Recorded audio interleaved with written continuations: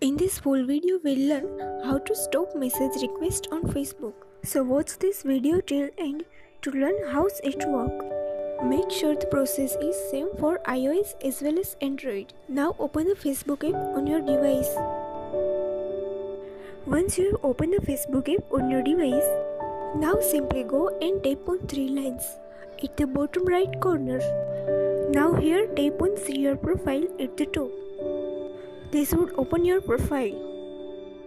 Now you need to tap on three dot next to add story. This would open up your profile settings. Now tap on edit profile. Here scrolling down below and go to the end. And tap on edit your about info. Here scrolling down and tap on edit under your basic info. This will open up your basic info. So here you need to change your birth date. If you want to turn off message request on your profile, the only way is that make sure that you are under 15 on your Facebook profile. So simply tap on birthday and select your birthday that shows you are under 15.